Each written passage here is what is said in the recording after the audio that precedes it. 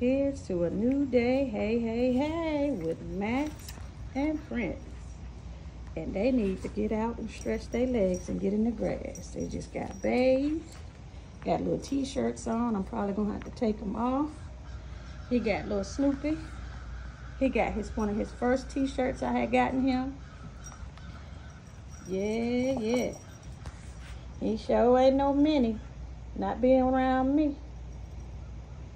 They my babies. They love wrestling each other. I pray that all is well with everyone. I thought I'd start your day off with something to be an encouragement. I love my pups. That's my grandpup. That's Max. And that's Prince. Prince, turn around.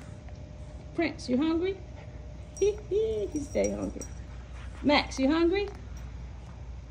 You just ate, dude. You didn't even eat all your food. Anyway, it's a beautiful day.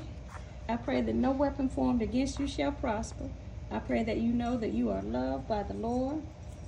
I pray that in all you're doing, you're mindful to be remembrance of the Lord at all times, at all times. Some people think it's too much, but when you think about all the times that God is delivering us from things and healing us from things and coming through for us and making a way out of no way, we think about him when we want to think about him.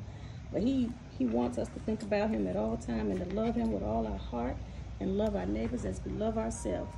So it is my prayer that we all are in, in obedience unto the Lord. In the precious mighty name of Jesus Christ. Amen. Have a blessed day, everybody.